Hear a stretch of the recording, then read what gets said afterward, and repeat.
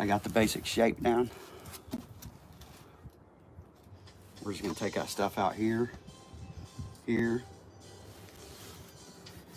along the edges, and we'll paint it black and catch it on fire.